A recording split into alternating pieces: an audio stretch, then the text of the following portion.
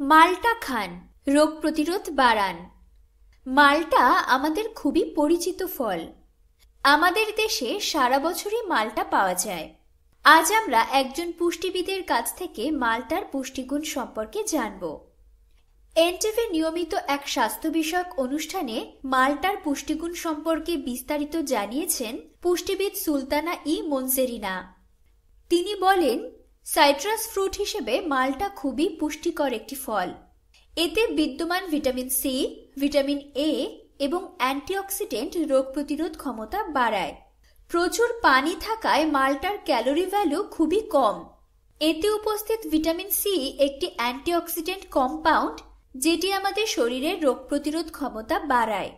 সুলতানা ই মনসেরিনা বলেন মাল্টার phenolic compounds আমাদের শরীরে অ্যান্টি ইনফ্লামেশন এবং অ্যান্টি অক্সিডেন্ট হিসেবে কাজ করে। মাল্টায় কিছু সিম্পল সুগার থাকায় এটি ডায়াবেটিক রোগীকে নিয়মিত পরিমিত পরিমাণে খেতে বলা হয়। তবে এটি বাড়ন্ত বয়সী শিশুদের অথবা যারা সবসময় বেশি পরিশ্রম করেন, তাদের ক্ষেত্রে খুবই উপকারী ফল। মাল্টায় বিদ্যমান vitamin C, thiamine, folic acid আপনার শরীরে মাল্টিভিটামিন যোগান দেবে। এতে থাকা পটাশিয়াম উচ্চ রক্তচাপ নিয়ন্ত্রণ করবে।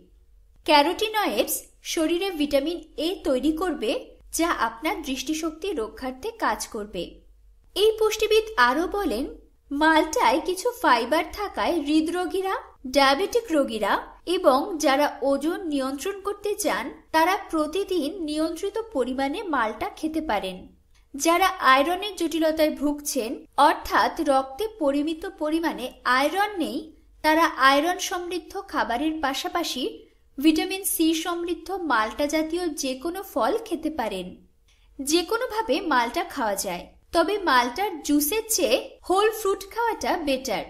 যাদের রক্তে পটাশিয়ামের পরিমাণ বেশি এবং যারা দীর্ঘদিন কিডনির জটিলতায় ভুগছেন, তারা মালটা বা অন্যান্য সাইট্রাস ফ্রুটস অ্যাভয়েড করবেন। ভিডিওটি তথ্যবহুল মনে হলে অনুরোধ থাকবে আমাদের চ্যানেলটি সাবস্ক্রাইব করতে। লাইক কিংবা কমেন্ট করেও আমাদের উৎসাহ দিতে পারেন। সুস্থ থাকুন, নিজেকে এবং পরিবারকে ভালোবাসুন।